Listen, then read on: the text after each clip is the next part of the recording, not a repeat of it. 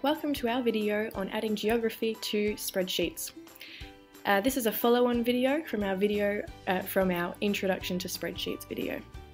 Uh, for this one, we're focusing on converting our postcode or linking our postcode to an actual geography point. And the reason I want to do this is so that I can use it for mapping purposes. So currently my postcode field is a decimal and I need to change this to be geography. To do that, I'm going to click on the options, change the field type to geography. Now you'll notice this little pop-up message that's just telling me I have to change it to a text field first, but Yellowfin will do this automatically for you if you click this button. Now I have to select the GeoPack. Now Yellowfin is shipped with a number of GeoPacks, um, or they're available on our Yellowfin marketplace. I'm going to select the Australian postcode pack that I already have installed. The next step is to choose which field I'm linking to that GeoPack. So this is going to be linked to the postcode. There are also options for state and LGA.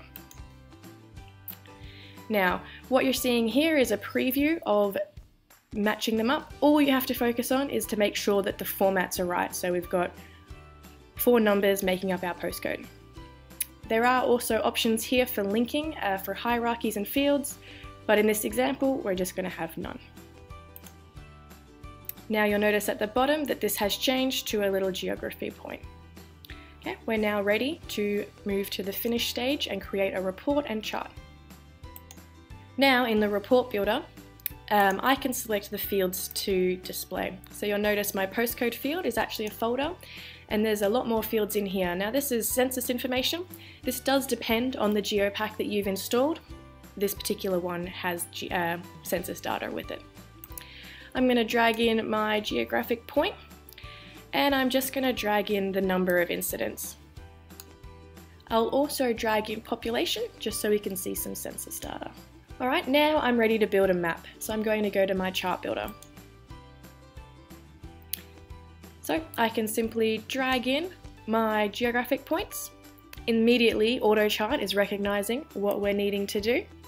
And I'm going to drag in the number of incidents. Uh, you can see from this that the color formatting isn't great, so we can just edit this to make it more obvious, just using the settings option. Here, rather than using automatic, I might set a range myself. So I might say 0 to 4000 and I'm going to change the color scheme as well.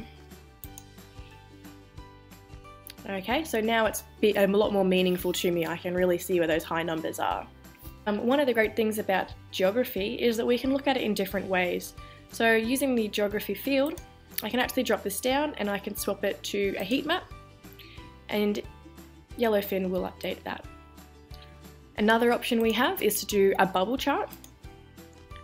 Um, and with the bubble chart, I can add another element into the size. So this bubble chart straight away says to me where I have a high population, I've also got a high incidence of crime. Okay, and that's how you do geography with CSV files. For more information on using CSV files in Yellowfin, check out our YouTube channel.